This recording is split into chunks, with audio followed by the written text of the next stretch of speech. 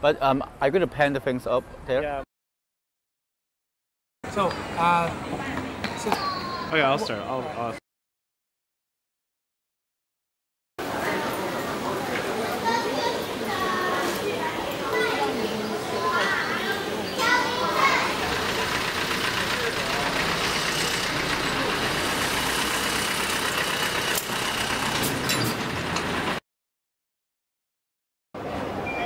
we we have a sort of scale to what's going on here.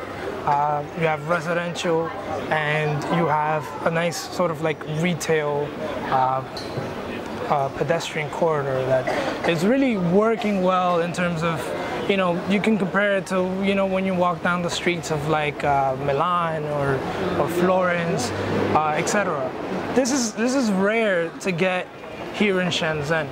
Uh, these pockets of sort of uh, dense but uh, smaller scale development uh, that were really sort of like accidents of the rapid growth of Shenzhen are really special. Uh, and what they're being replaced by isn't necessarily the best thing. 利用这样的一个环境去支持整个区域的一个商业的发展，就是说，在附近的办公室的人， 我们可以用这样的一个土地，我们现在可以进来去看一眼。这种这以这种城中村这样的土土地范围，其实在呃深圳或者是中国南方这样的城市开发，其实是非常普遍的一个现象。它，我们可以把它理解成是呃这个城城这个城城这个这样的一个城市不断的扩张，而把这个农这个这个这个农田的土地给包围起来了。所以呢，呃，这样的一个城村的现象就就它就出现了。而在城村现象里面，它的土地所有权是一个集体所有权，呃，所以呢，政政府在大型开发的过程中是不能做出很大的调整的，呃，而就像这块地似的，附近罗湖区这样的一个以前的一个 CBD，慢慢的发展起来之后，还遗留下来就是这样的村子，而这样的村子也经过不断的一些改造、一些一些一些升级，它可能是一个市场的行为。它也可能是一个政府的一个，这就是一个美化的这样这样的一个行为，慢慢变成这样的一这样的一个形态。而这个村子基本上是完全开放的，它跟我们其他看到这种住宅小区基本上是基本上是完全不一样的。其实我觉得就是说，在这种在这种嗯，尤其像深圳这种嗯移民城市来说，嗯嗯这样的一个机理对整个社会或者是经济的一个经济链，它的。它的影响其实是蛮重要的，因为它也在去嗯长补一些我们在设计或者在规划或者在这种制度化的城市下我们所呃忽略的一些东西。而就就就比方说，当我们需要这种比较廉价的这种呃比较比比较廉比较廉价的这种这种房屋出出租的话，其实我们也可以在这样的一个机理里边去提供这样的一个空间。And, and, and the reason uh, that you should keep it, that you should try to even maybe question the idea of you know bringing in the big shopping mall is what happens to the people that are here. Uh, you know, it the, when you look at the spaces around us, they're not really big spaces. You see, you know, it's it's 10 o'clock already, and people are here. Um, they're not here because they, they, just want to be here. You know, there's people manning their storefronts because they have customers. There's an economy here, and it's not an economy of the big bucks. It's the economy of the small, the micro, uh, and that's what's going to get lost. Um, when you bring in these big developments, what tends to be the solution is you relegate the, the poor to the periphery. 可是当我们比如说，比如说拐一个弯，我们进到这种比较小的巷里头的时候，其实我们看到就是这种第二层次的或者是第三层次的的这种商业，就是在城村这样的一个基里边，其实它是很自由的。You you get uh, the big developments, and who do these big developments uh, attract? Uh, who do they service? They only service like a top five, four, even three percent of the economy. Uh, it's not really for the rest of the people who are not making, you know, a million kwai. Uh, it's, it's, it's, it's, it's a really sad thing to see happen, uh, all because in the name of progress. 当我们走到 头的时候，或者当我们走出了就是这样的一个这样的一个村子之后，我们可以是完全是另外一个景象。就是说，这个村子其实它跟附近的那个城市的那个呃那个关系或者是内容是完全断绝开来的。 呃，可是，在某程度上面，我们在做做设计或者是做规划上边，我们是否可以利用这样的一个系统，这样的一个非常细的一个系统，把城市的不同不不同的部分给它给它连接起来？ What does this space contribute to the community that this space doesn't? This is a certain profit model in which, you know, you no longer have the small, the micro, you have large and international.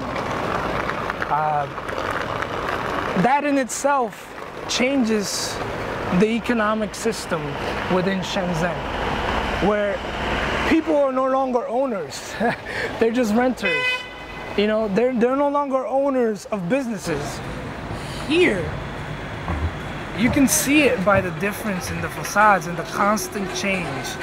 This is people running and managing businesses as they see fit, not within the you know shrink wrapped envelope of a mall. I mean, it, it, it boggles my mind that I can be inside the mall and not know where I am. this is really China, but it wasn't until I went to the urban villages, and it, it's so stark the contrast that you see that this is the real China. I feel like I am somewhere else. If I go here, I'm at Dolce Gabbana. I'm gonna go buy a shirt, and it's gonna be the same as if I were in Miami, or if I was in New Jersey, or if I was in, you know, the Mall of America. 就比如说，我们如果看到那个马那个马路对面的时候，其实我们到最后了，我们已经不在城中村里边，我们不知道自己是中国了，在中国哪个城市了。可是到对到对面，我们已经不知道自己在世界上的哪个城市。就是说，我想整个的这个课题可能是更在一个呃去寻找到底这个呃文这个文化的根在什么地方。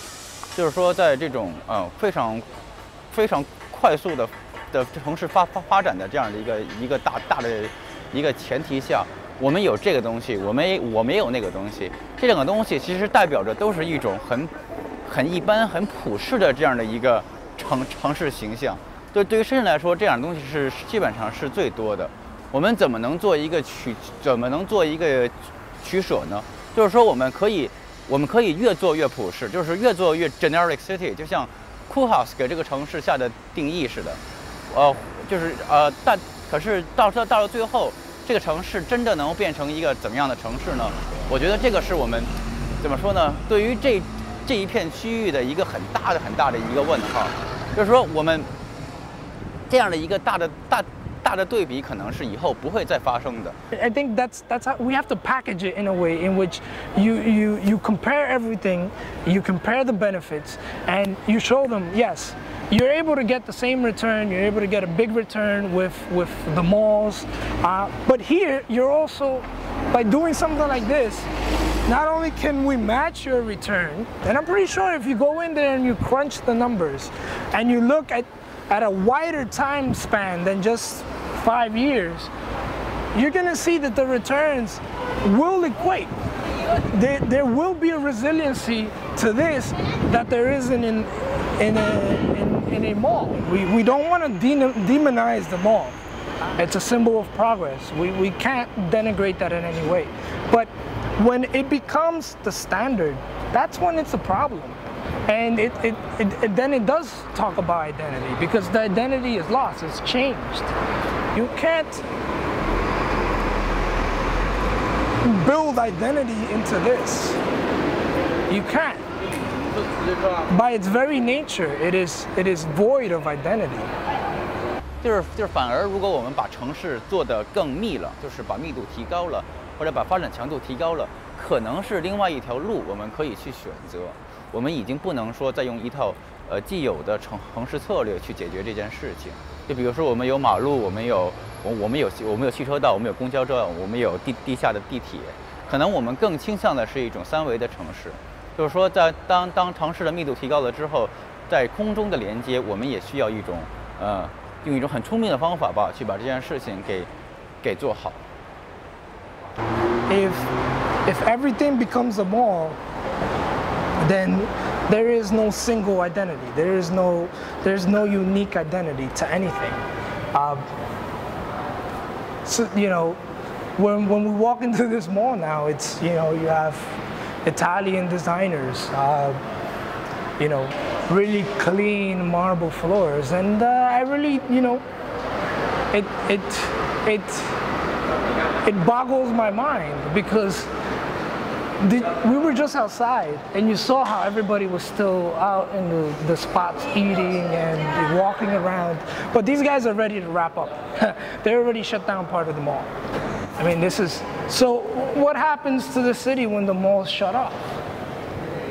The public-private partnership has to be uh, has to be stronger. You know, it has to be a lot better than this because your cities can't shut down after a certain hour. Uh, this is this is this is your location. This is where you want to go, and if it shuts down at 11, what do we do? 先先问一下，你们是做什么的？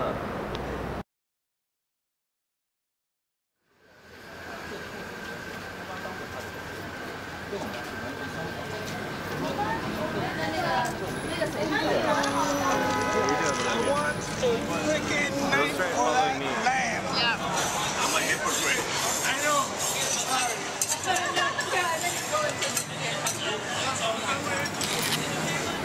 I'm Ted.